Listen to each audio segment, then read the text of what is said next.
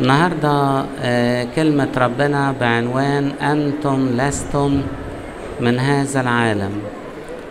لأن أولاد ربنا اللي عايشين في العالم ظاهرين زي ما بيقول معلمنا بولس الرسول. أولاد الله ظاهرون. ظاهرون يعني إيه؟ يعني هم نور العالم فهم ظاهرون. أما أولاد الشيطان برضو ظاهرون بالخطية وبالشر وبالظلمة أولاد ربنا هم الحنطة. الحنطة المزروعة في العالم بتجيب ثمار هي ثمار الروح القدس. لأن ربنا يسوع المسيح لما قال المثل بتاع الحنطة والزوان ففسر إن الحنطة هي أولاد الله والحقل هو العالم. الحقل اللي اتزرع فيه الحنطة هو العالم والحنطة هي هي أولاد ربنا. أما الزوان اللي اتزرع بالليل في السر وفي واحد جه زرع الزوان ليلا والناس نيام الزوان ده هم ده هم الأشرار. فهنا في الحقل أولاد الله ظاهرون هم الحنطة وأولاد الشيطان ظاهرون وهم الزوان. عايشين مع بعض آه. بس أولاد ربنا قادرين إن هم يحفظوا نفسيهم للمسيح. يحفظوا نفسيهم إيه؟ للمسيح. آه بنقول إن أنتم لستم من هذا العالم يا أحبائي لأن المعاشرات الرديئة بتفسد الأخلاق الجيدة زي ما بنقول الحنطة والزوان مع بعض. الناس كلهم مع بعض في الحقل اللي هو العالم. ولكن بنلاقي إن في خطورة من إن بقى بيحصل الاندماج دهوت بمثابة المعاشرة. يعني بناخد من ثقافة العالم ووحشته وطريقة الناس الأشرار ونعيش بيها. ما هي دي اسمها المعاشرة؟ المعاشرات الرديئة بتفسد الأخلاق الجيدة لكن علشان إحنا مش مش من هذا العالم لسنا من هذا العالم بنقدر نحفظ نفسنا بتقاليدنا بمسيحيتنا بأخلاقنا بإنجيلنا بمعاملاتنا الخاصة. إحنا مش هنندمج في المعاشرات الرديئة ونبقى زي الآخرين. للأسف الشديد في بنت كان اسمها دينا ودينا ديت بنت أبونا يعقوب في العهد القديم يعني. للأسف دينا كانت بتخرج كل شوية من الخيمة وبعدين تتمشى في الحقل تتمشى هنا تروح هنا تيجي هنا. ده كويس ماشي فيش مشاكل يعني. ولكن هي ارتبطت بولد اسمه شكيم وبالتالي أخطأ معاها فطبعا لما هو حب يداري الغلطة بتاعته قال نتجوزها. فهو وأبوه كان اسمه حمور. راحوا لأبونا يعقوب وولاده علشان يطلب إيد دينا. وطبعا كان في تقليد آبائي يعني في الوقت ده إن المفروض أولاد ربنا ما يتجوزوش مع أولاد بنات كنعان اللي كان اسمهم في الطوفان بنات الناس. لأن لا يعرفوا الله بيعبدوا أوثان ما يعرفوش الوصية الإلهية عندهم تقاليد شريرة جدا. ولكن البنت حصل بقى إن هي أخطأت مع الولد شكيم فجم يطلبوا إيديها. فطبعا أولاد يعقوب حضروا مكيدة. وبيها قتلوا أهل شكيم كلهم. أبونا يعقوب زعل قال ده مش ده الحل. أنتم قدرتموني في الأرض إزاي تعملوا كده في الناس؟ لكن هي الخطية خاطئة جدا وكل قتلاها أقوياء. هو إيه المشكلة الأساسية؟ الاندماج غير غير السليم. آه الاندماج غير السليم. إحنا فينا عقل وفينا عين وفينا فكر وفينا المفروض نميز. ما نغرقش نفسنا. وهنا بقى حصل إن المعاشرات الرديئة أفسدت الأخلاق الجيدة عند مين؟ دينا بنت أبونا يعقوب. علشان كده البنت ديت ما تذكرش سيرتها بعد كده خالص. يعني ما تذكرش سيرتها زي رعوس ولا زي مثلا رحيل ولا ليئة. ما تذكرش سيرتها زي مثلا سوسنة العفيفة خدتوا بالكم إستير. لا ما هو ما إحنا لازم نفتح من أولها لازم ناخد بالنا من نفسنا لأن المعاشرات الرديئة ممكن تفسد الأخلاق الجميلة اللي, اللي إحنا شربناها. في التعليم وشربناها في الكنيسة مثلا وشربناها في الإنجيل والكتاب المقدس. اللي عمل زي البنت دينا ديت برضه أغسطينوس لدرجة إن هو خلف خلفة غير شرعية. تصوروا؟ بس في بقى فرق هنا ما بين أغسطينوس ودينا. أغسطينوس قاعد يدور على إصلاح نفسه. فمرة دخل الكنيسة حضر عظة للقديس أمبروسيوس أسقف ميلان. اتأثر جدا بالعظة وقابل سيدنا الأنبا أمبروسيوس واتعمد على إيده وعرف المسيح. الناس لقوه اتغير خالص فاختاروه كاهن. قالوا لا ده ما يكفناش. ده إنسان بقى قديس عظيم واتغير. إحنا نرسمه أسقف كمان. خدوا بالكم إزاي؟ بس برضو الوعكة الأولانية كانت بسبب إيه؟ أن المعاشرات الرديئة قد أفسدت الأخلاق الجيدة. أصل العالم في معاشرات رديئة جدا. ممكن تفسد الإنسان. وبتبقى مطروحة قدام عينينا. وعلشان أنتوا أولاد ربنا يسوع المسيح عارفين تميزوا ما بين أولاد الله أو طبيعة أولاد ربنا وطبيعة أولاد الشيطان. أولاد الله ظاهرون وأولاد الشيطان ظاهرون. أولاد ربنا ظاهرون بالنعمة بالنور. أنتم نور العالم أنتم نور العالم. بنقول إن إحنا لسنا من هذا العالم لأن معلمنا يوحنا الإنجيلي في رسالته الأولى 2 15 يقول إيه؟ يقول لا تحب العالم ولا الأشياء التي في العالم لأن العالم يمضي وشهوته تزول إن أحب أحد العالم فليست فيه محبة الله اللي بيحب العالم أكتر وشهواته وأهواءه نزواته أطماعه حسده السعي وراء القنية بطريقة فجة وظالمة. الخطف الطمع هو ده العالم فيقول لك إن أحب أحد العالم فليست فيه محبة الله. عاوز أقول لكم شيء أحبائي نحن نحب العالم ونكره العالم. إيه الفرق بين العبارتين دولت؟ نحن نحب العالم بمكونه البشري. إحنا بنحب كل الناس بمكونه الطبيعي من طبيعة و... وزروع ونباتات والطبيعة اللي خلقها ربنا ما أعجب اسمك يا رب في الأرض كلها. لأنه قد ارتفع عظم جلالك وجمالك فوق السماوات فوق السماوات.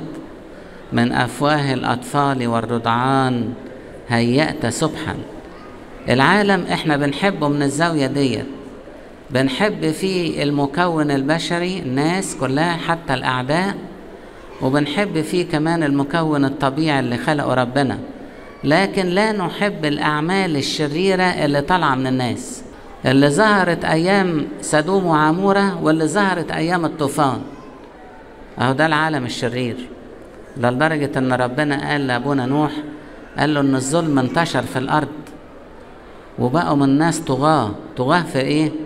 في الخطية والشر والشذوذ الحاجات الوحشة. فنحن نحب العالم في مكونه البشري والطبيعي ونكره العالم في سلوكيات وشرور الناس اللي هي بتظهر وبتبقى موجودة. عاوز أقول لكم شيء مهم جدا إن أولاد ربنا من كتر حبهم لربنا أكتر من مباهج العالم طلع منهم فئة قالت إحنا هنكرس نفسنا لربنا وفقط. حلو حلو بس مش كله هيعمل كده برضه. ياما في ناس عايشة في العالم قديسين وياما ناس عايشة في العالم ماشية بوصية ربنا وهي في غاية الفرح والسعادة وأيضا التعزية الداخلية. ففي فئة من الناس آه اختاروا لنفسيهم طريق اسمه طريق التكريس القلبي. التكريس القلبي والتكريس الحياتي. يعني عزلوا نفسيهم للعبادة وللصلاة ولأيضا حياة التوبة المستمرة في البرية. الأنبا أنطونيوس قال لك أنا همشي في الطريق ده فبالمصادفة دخل يحضر القداس. فربنا كلمه بخصوص الطريق ده قال له إن أردت أن تكون كاملا فاذهب وبيع كل مالك واعطه للفقراء. واحمل الصليب وتعالى اتبعني. فطلع من الكنيسة وعمل فعلا باع كل ماله. ومن الجمال في الأمر إن أخته مريم كانت برضه عاوزة تكرس نفسها للمسيح بنفس المنهج ده. وبقى هو بعد كده الأنبا أنطونيوس أب الرهبان. وجيه أب تاني اسمه بولا. وبولا دهوت اشتهر بلقب بولا البسيط. كان متجوز مراته اتنيحت فقال نتجوز تاني لظروفه. اتجوز تاني والكنيسة سمحت له بكده. طيب للأسف دخل مرة البيت لقى امرأته بتخونه مع رجل على سريره فقال لها إيه؟ قال لها مبارك لك فيه أيتها المرأة. ومبارك له فيك إذا اخترتيه دوني أنا بدوني أنا. يعني أنت فضلتيه عنه يلا بالسلامة مبارك عليك. خلاص انتهت القصة. وبعد كده راح للانبا أنطونيوس بس في منطقة الميمون. ما كانش لسه الأنبا أنطونيوس راح البرية الشرقية. وتقابل معاه هناك وبعدين اختبروا كذا اختبار لقاه ثابت في عزيمة قوية في تكريس نفسه للمسيح كلية فقال له روح للناحية التانية واعمل مغارة وعيش فيها. وفعلا حصل وبقى من أعظم القديسين أقواله وحياته هتلاقوها في بستان الرهبان. اللي هو الراجل اللي هو بولا البسيط ده. كان بسيط علشان بيعمل المعجزات بتلقائية مش قاصد يعني. آه يعني يجي واحد فيه روح نجس يتضع أمامه جدا آه فالروح النجس ما يحتملش اتضاعه فيخرج. فأطلق عليه أنبا بولا البسيط. عندنا قديس اسمه مارس حاء السورياني ده كان أب أسقف على مدينة نينوى في العراق. وبعدين يجي يرشد الشعب. يقول له يا ابني اعمل كذا كذا. يقول له لا أنا ما عملش الكلام اللي أنت بتقوله ده. يقول له طب خلاص. الست تيجي تقول له في موضوع تشوره في حاجة. يقول لها لا أنت المفروض إحنا نعمل كذا كذا ونلتزم بوصية الله. تقول له لا ما أقدرش ألتزم بوصية الله. فلما شاف كده فقال أمال أنا يعني أب أسقف على على إيه؟ ده أنا كده يعني آه يعني مش صح مش ماشي صح. لا أنا أرجع إلى البرية وأعتكف فيها وأصلي من أجل الناس دول وفعلا رجع للبرية. وبعدين من أشهر اقواله يقول إيه للإنسان؟ اذكر ملكوت السماوات لكي تجذبك شهوتها وأذكر نار جهنم كي تبغض أعمالها. يعني أنت في العالم عايش هتلاقي في نعمة ربنا تشدك للكنيسة علشان السماء والأبدية تجري عليها وهتلاقي في نفس الوقت الشيطان عمال بيزين لك حاجات علشان يشدك وبعد كده أخيرا تبقى في نار جهنم. فأنت في العالم شوف الصح تعمله والغلط ما تعملوش وتبغضه لكي تبغض لئلا تكون في جهنم. كمان عندنا واحد اسمه القديس أرسانيوس قال أنا حسيب كل العالم أنا معلم أولاد الملوك. وكان معلم للأولاد الملك فالريان الإمبراطور الروماني. قال ده أنا أكرس قلبي للمسيح وأخلي كل حياتي للمسيح. فعلا راح وادي النطرون والتلمذ على يد القديس العظيم أبو مقار. وبعدين في واحدة أميرة كبيرة اسمها ميلانيا. كانت شهوة قلبها إن هي تروح تزور الآباء القديسين دولت في البرية. فوسط واحد معاه كان اسمه روفينوس. كان راهب من مكان اسمه مقدونيا. وبعدين جنوب أوروبا يعني كانوا كل الناس ديت يعني تحترم أوي الرهبنة القبطية وتعتبر أن الرهبنة القبطية هي الأولى والعظمى في العالم وهي الأم لرهبانيات كل العالم لأن اللي أسسوا الرهبانيات في كل العالم تلاميذ أنبا أنطونيوس وأبو مقار والأنبا بخوميوس والأنبا شنودة رئيس متوحدين ما هو راح أفسس مع البابا كرولوس عمود الدين. ونشر الرهبنة. الكتاب بس بتاع الأنبا أنطونيوس اللي عملوا وكتبوا بابا أثناسيس الرسولي نشروا في شمال أوروبا وجنوبها وشمال إفريقيا لدرجة أن القديس أوسطينوس لما أراه قال لا ده أنا هرهبن أنا كمان. وعمل دير للرهبان ودير للراهبات باسم الأنبا أنطونيوس. المهم فهي قالت له يا روفينوس أنا عايزك تودينا مصر. أتفرج على القداسة. ويا ريت تخلينا قابل الأنبا أرسانيوس معلم أولاد الملوك. ففعلا أخدها وراح وادي النطرون. فهي لما شافته مشيت وراه هو كان بقى إيه؟ باع العالم وما في العالم. سابها ومشي. عشان كده إحنا ما نزعلش من الابائنا الرهبان لما ينصرفوا عننا سيبوهم في حالهم ما نضايقهمش. خدتوا بالكم بالحكايات بتاعت أهل العالم. هو مش هيدركها قوي. ولا تلاقوا بنت تروح تشور أبونا الراهب في الخطيب بتاعها والخطوبة والجواز؟ ما هو ساب الحاجات ديت. إحنا بنعسر أبونا هنا.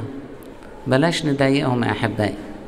خدتوا بالكم إزاي؟ وهو في نفس الوقت لا يدرك الظروف المجتمعية في المجتمع اللي إحنا عايشين فيه. فاحنا بنتعبه وخلاص فخدوا بالكم. فالمهم هي ميلانيا ديت مشيت ورا الأنبر سانيوس. قالت له يا أبانا يا أبانا صلي طيب من أجلي. فراح التفت لها وقال لها إيه؟ أنا أصلي إلى الله أن ينزع ذكرك من قلبي. كلمة صعبة؟ هي صعبة على الست إنما هو يقصد إيه؟ يقصد إن هي هتروح إنما مش عاوز يفتكر أي مفاتن من مفاتن الدنيا في هذه المرأة أو خلافه أو حتى صوتها أو كده يبقى في قلبه هو عايش في البرية يعني هو عايش في البرية في حالة من النقاء مش عاوز يلوث هذا النقاء بأي شكل إن كان. فهو قال لها أنا هأصلي لربنا إن هو ينزع ذكرك من قلبي. طبعا ممكن أي حد يزعل من الأنبا أرسانس إنه بيقول الكلمتين دول لكن إحنا نعرف قصده. عشان ما نزعلش يعني ونفهم هو إيه موقفه يعني؟ آه نفهم إيه موقفه عشان ما نزعلش منه. لكن أنا عايز أشير لإيه؟ إلى أي مدى استطاع القديس أرسانيوس ده إن هو يترك العالم وينسى العالم. زي ما بيقول معلمنا بولس الرسول ننسى ما هو وراء ونمتد إلى ما هو قدام. ما هي الآية تنطبق عليه بالمعنى ده. ونلاقي كمان أحبائي أن داود النبي بقى بيوصل للنقطة ديت أن العالم عنده مهما كان هو ملك مهما كان غني إنما كله لمجد الله. كله لمجد الله. لدرجة كان بيحوش كل حاجة علشان ابنه يلاقي الحاجة ديت الأموال والذهب والفضة والخشب ويبني بيه بيت ربنا. تصور؟ لأن ربنا قال له يا داود أنت ما تبنيش البيت لأنك إيه؟ حاربت كتير. أنت ابنك هو اللي هيبنيه فكان بيحوش لابنه كل حاجة ثمينة لأجل بيت ربنا زي ما أنتوا كده. يعني ضحيتوا بالغالي والثمين عشان تعملوا أجمل كنيسة. عند سيدنا أنبا سيداروس الكنيسة الجميلة على اسم أمنا العذراء مريم. خدتوا بالكم؟ هو الملك داوود. طب بيقول إيه بقى الملك داوود؟ بيقول غريب أنا في الأرض. فلا تخفي عني وصاياك. غريب أنا في الأرض فلا تخفي عني وصاياك. هو هو بيترك العالم وما في العالم لأن محبة العالم تزول وشهوته إيه؟ تمضي وشهوته تمضي. على فكرة الآية ديت كل قداس بتتقال في نهاية قراءة الأبراكسيس أعمال الرسل. كل مرة كل يوم في القداس. لو في قداسين في اليوم تتقال برضو مرتين. علشان الكنيسة دايما تفكرنا بأن الرب آت وحنسيب العالم وشهوته تمضي وتزول. مفيش حد يروح للغلط والخطية ويتمادى ويفكر إن هو هيأبد في العالم وهيفضل يشبع يشبع من العالم. مش هيشبع أساسا من العالم. إحنا لو حبينا نقول إن إيه هو العالم الشرير الوحش المضل اللي ممكن يجري في الإنسان لأماكن بعيدة جدا جدا ليس فيها ماء ولا زرع ولا حاجة. إيه هو العالم؟ العالم الوحش ده هو الأمل والمستقبل الوحيد للأشرار. هو الأمل والمستقبل الوحيد للأشرار. ده عدو الخير حب يصدر الفكرة ديت لربنا يسوع المسيح. فخده على جبل عالي. ويقول لك وأراه جميع ممالك العالم ومجدها. وقال له أعطيك هذه جميعها إن خررت وسجدت لي. يعني ممكن تلاقي في العالم يعرض عليك أموال كتيرة. بس أنت لو عملت حاجة غير شرعية ضد. ضد الناس وضد المجتمع وضد البلد والعالم اهوت إن خررت وسجدت ليه خدتوا بالكم؟ ويجي بقى الأنبا موسى الأسود اللي هو كان ما بيخليش حاجة عاوزها إلا ويعملها. أنبا موسى الأسود عارفين قصته؟ بيقول إيه بقى لما هو عرف المسيح وعاش في البرية؟ يقول لا تهتم بشؤون العالم كأنها غاية أملك في هذه الحياة غاية أملك. يعني الأملة بتاعتك إنك إيه؟ تاخد كل ما في العالم بس بطريقة غلط. إحنا طبعا مش ضد الطموح ولا ضد التقدم ولا ضد الشطارة. أنت لو تاجر خليك شاطر وتكسب كتير بس بالحق وبالخير مش بالطريق الغلط والطريق المعوج لا.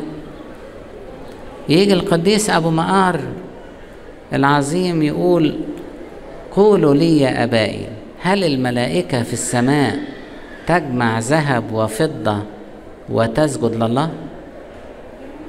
لا. يعني عايز يقول إيه؟ إن السماء ما فيهاش لا ذهب ولا فضة ولا بيوت ولا أي حاجة.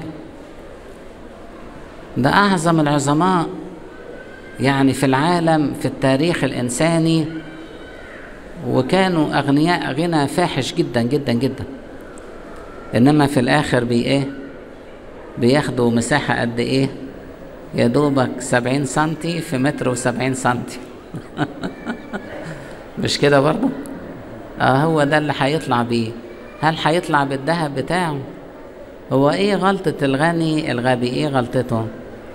أنه ضمن الحياة وجعل العالم هو الأمل الوحيد لحياته لدرجة إنه قال يا نفسي كلي واشربي فإن عندي خيرات كثيرة لأيام إيه لسنين إيه عديدة. قال لا ده كده ضمن الحياة لنفسه في حين إن الحياة ديت في يد مين؟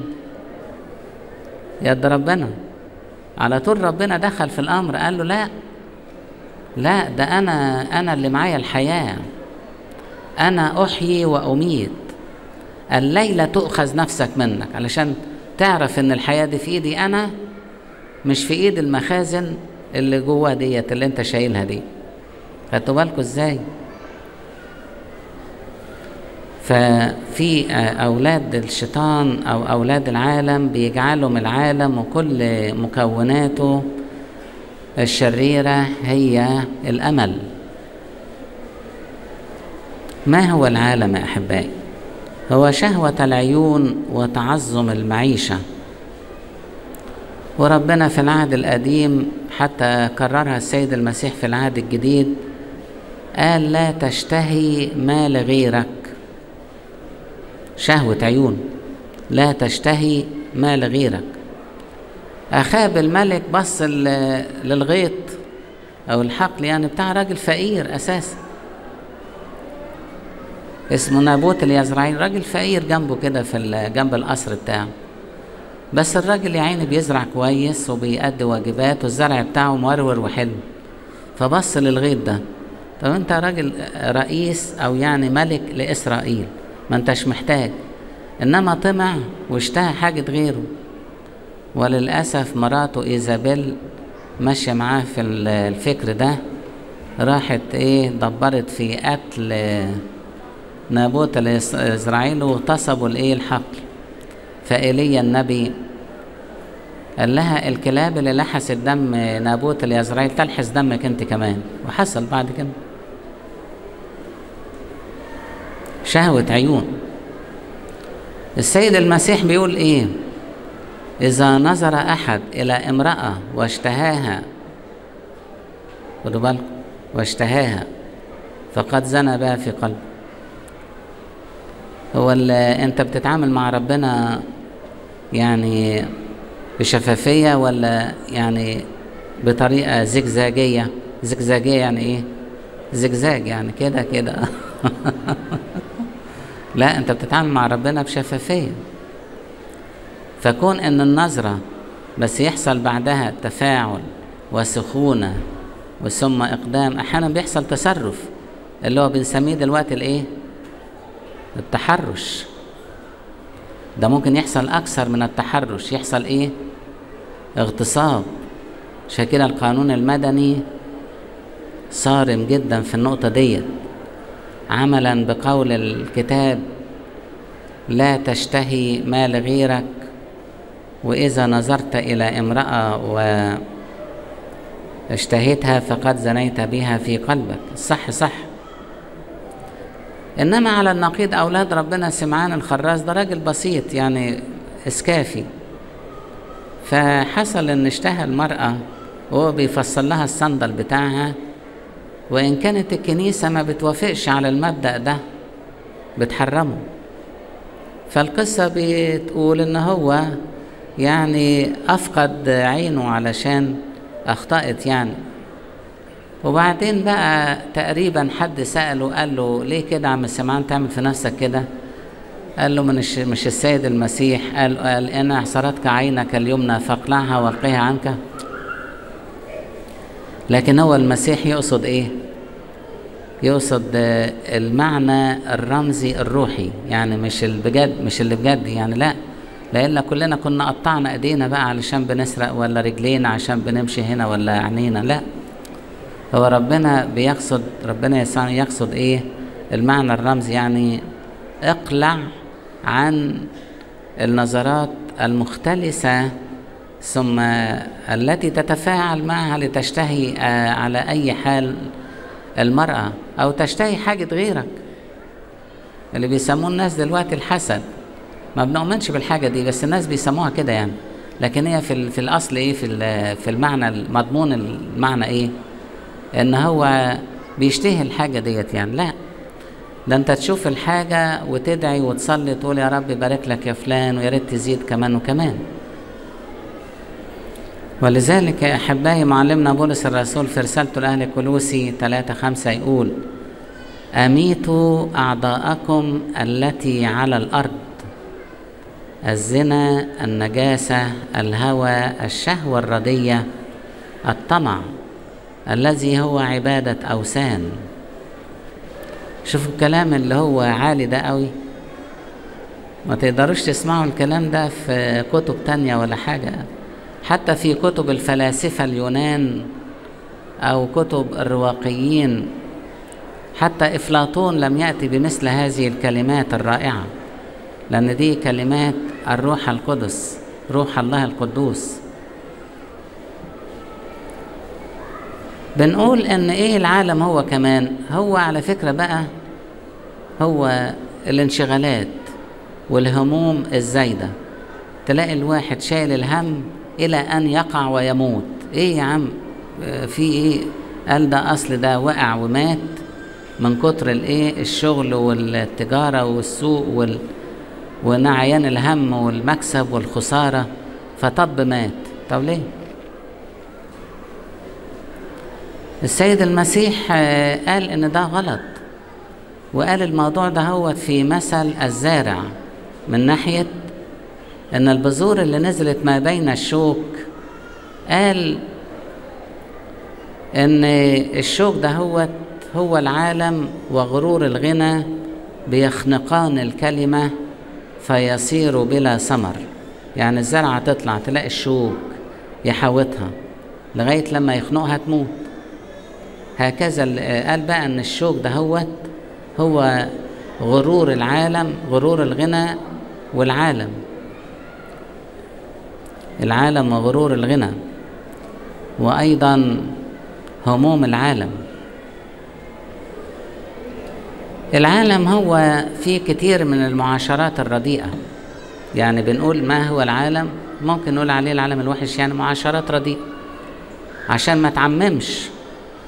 آه لا في قديسين كتير آه ناس كويسة ولذلك معلمنا بولس الرسول يقول لا تضلوا فإن المعاشرات الرديئة تفسد الأخلاق الجيدة.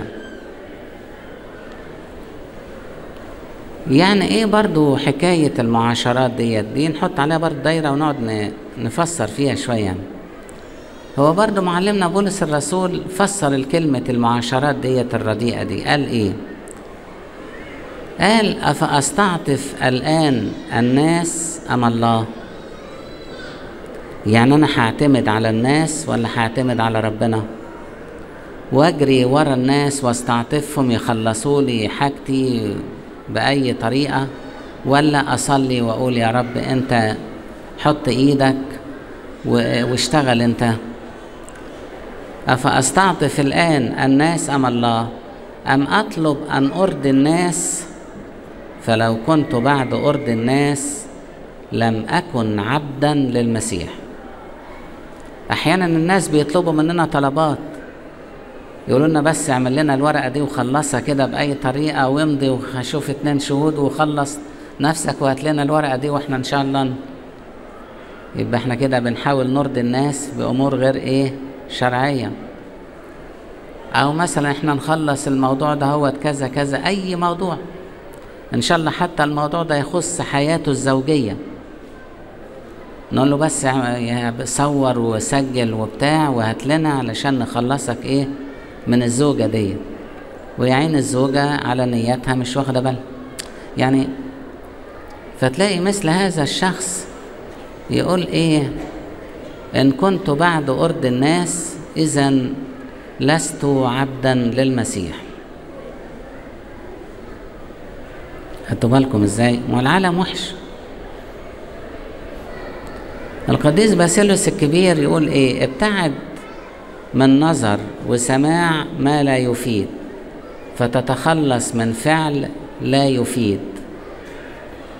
العالم يا أحبائي هو النميمة والوقيعة والمجاب السيرة وال والمعارك تشتغل والخصامات تزيد والسلام يفقد من الأسرة ولا المجتمع. نتيجة الوقيعة وال وكله داخل في شؤون الأسرة وشؤون الزوج والزوجة والنميمة والإشاعات والكلام. إيه ده كله؟ النميمة والوقائع ديت خطيرة. القديس مكاريوس الكبير يقول احفظوا ذواتكم من كلام النميمة والوقيعة لكي تكون قلوبكم طاهرة. تيجي تصلي يبقى ضميرك راضي عليك. لأنك لو وقعت ده في ده ولا خربت دي في دي ده ولا عملت نميمة ضد ده في ده آه طبعا ما الواحد هنصلي إزاي طيب قدام ربنا؟ آه لازم نصلي وإحنا آه بيقولوا عليها بطهارة السريرة. طهارة السريرة يعني إيه؟ طهارة النفس جوه يعني. آه. وتلاقي ربنا يقول لك فاحص القلوب والكلى. الكلام العالم يا أحبائي فيه وحشات على سبيل المثال الخمور والمخدرات. ده ما بقتش بقى خمور ومخدرات بس دي بقت حاجات كيميكال يعني متصنعة. تعمل كل اللي إيه؟ كل اللي, اللي هو ينعش الإنسان انعاشا وهميا مدمرا للخلايا العصبية في المخ. عشان كده كل اللي بياخد مخدرات بيحصل له جنان بعد كده. جنان. اللي جاي من إيه؟ ان المخدرات ديت موتت الشعيرات العصبية اللي هي بتغذي مراكز المخ. فمراكز المخ باظت. فهتلاقيه مجنون يعمل أي حاجة جنان. دي الآد المخدرات. شوف بتعمل إيه؟ معلمنا بولس الرسول يقول لا تسكروا بالخمر التي فيه الخلاعة. ما هو الخمرة بتبوظ الشعيرات العصبية في المخ. وممكن الشعيرات السمعية يقول لك إيه؟ قول تاني مش سامع. آه ما هو الأعصاب المغذية للعصب السمعي بيتأثر. بل إن ممكن ما يشوفش كويس. تلاقيه مش مركز لأن التركيز عنده اختل. طب هو ليه يا حبيبي أنت رامي نفسك في الوحش في المر ده؟ ومرر غيرك معاك. طب يا سيدي اتعالج. في علاجات دلوقتي متقدمة. اتعالج وتبقى كويس. بدل ما تضر نفسك وتضر غيرك. وإيه اللي رميك على التعب ده؟ قال لا.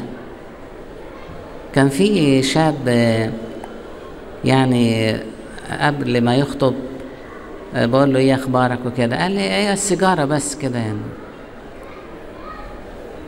قلت له السيجارة بس؟ قال لي آه. وبعدين إيه خطب. فمراتي قالت لي ما أعرفش حاجات مخدرة. قلت لها إزاي؟ ده بيقول حتى سيجارة بس دخان. آه. قالت لي لا. ده السيجاره دي فيها حاجات محشية جوه من الإيه؟ من المخدرات. ده, مشكلة كبيرة. فأنا بعت له قلت له يا ابني بلاش كده أو اتعالج أو نشوف خادم يفهمك إن ده خطر. قال لي لا لا لا لا. أنا بشرب ديت أي نعم فيها مخدرات بس ما بتعمليش حاجة أنا كويس اهو قلت له ما عشان أنت شاب بتحتمل. كلها خمس سنين وتبقى في النازل تموت أو تتجنن أو كده. يقول لا لا لا ده أنا صحتي تمام وبشتغل. بعد سنتين. مرات قالت لي ده بيهلوس. بي إيه؟ بيهلوس. سنة كمان. خد كل فلوس الفلوس اللي في البيت وصرف عن على الشرب بتاعه. بقى مدمن. طب اتعالج. لا مش عاوز يتعالج.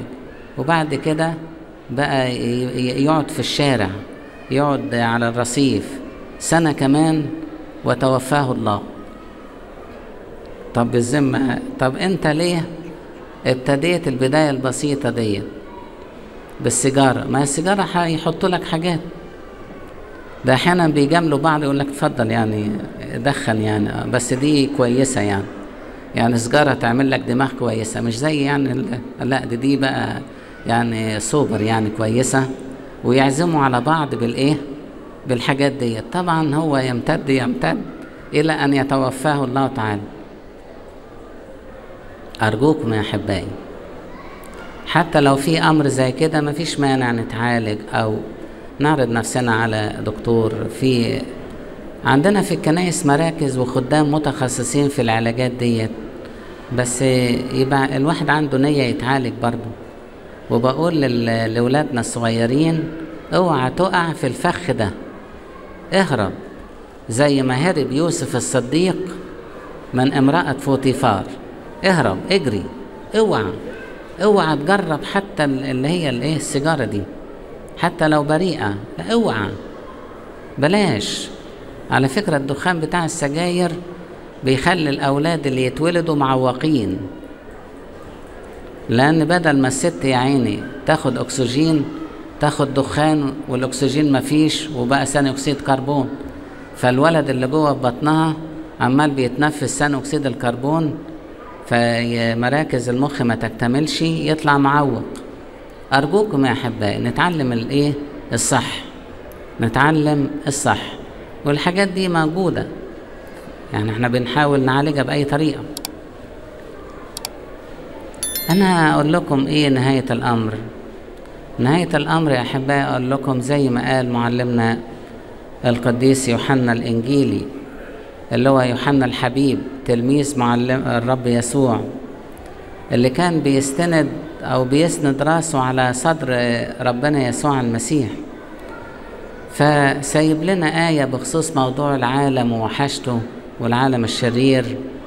بيقول لنا لا تحب العالم ولا الأشياء التي في العالم. إن أحب أحد العالم فليست فيه محبة الآب ربنا كل مجد دائما أبديا آمين.